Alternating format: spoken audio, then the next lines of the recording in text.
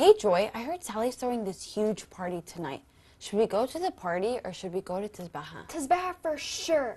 Why do you want to go to Tasbeha so bad? Well, remember what happened last time? Before we start, hi, my name is Josephine, and here I have with me is. Joy, and we are from St. Mark Coptic Orthodox Church, Church in DC. So, Joy, can you remind me what happened again? Oh, yeah, you asked me if we should go to the party, and I remember wondering if we should go, and I even remember praying so much about it, and I even remembered coming across this verse that says that the righteous should choose his friends carefully, for the way of the wicked leads them astray. But I remember I still really wanted to go. So I stopped by your house, picked you up, and we still ended up going to the party. Yeah, and it was really, really, really bad. I remember we felt really bad and worried that we weren't going to go and that we wasn't going to be. It's okay. I felt really, I remember we felt very um, worried and there wasn't a comforting feeling. feeling in our heart. So say that. Yeah, I remember that we weren't very comfortable and we didn't really have this feeling that we should go. We felt like we were doing really like a wrong thing. Oh yeah, and I remember finding you at the party and then telling you that we both didn't feel comfortable. So we went to church instead, right? Oh yeah.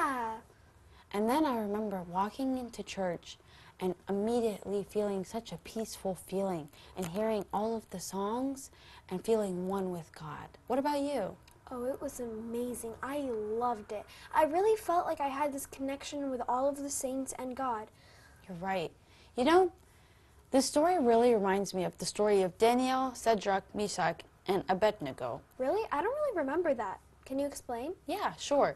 So basically, all of them were fasting, and they were trying to convince the king that their God was the true God. But the king had asked them to eat foods that they were not supposed to eat, and they refused.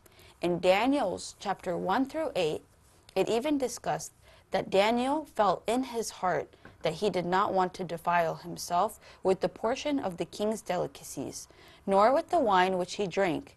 Therefore, he requested of the chief of the eunuchs that he may not defile himself. They stood firm in what they believed in and said no. And do you know what happened at the end? No. Tell me. They were the ones chosen to represent the city, even though that they didn't necessarily want to follow what the king had ordered in the beginning, but their bodies were the most firm and fit according to the rest of the population. That's an amazing story, and I really realize how that can relate to ours our scenario because Daniel stood firm in what he believed in.